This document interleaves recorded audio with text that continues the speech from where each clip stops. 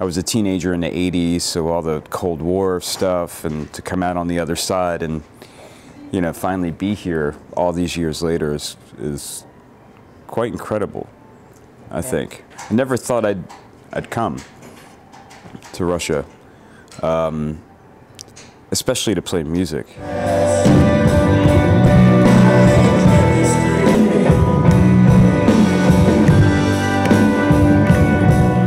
Journalist always says that every few years. Rock music's dead, electronic music's dead, you know, something's always dying. It's just not true. You can't, you can't kill something that's uh, um, immortal.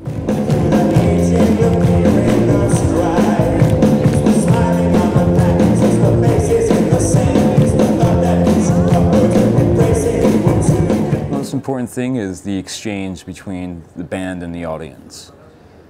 You know, that's that's why you're there. And if you can make a connection and get the audience excited enough, that that's the real thing.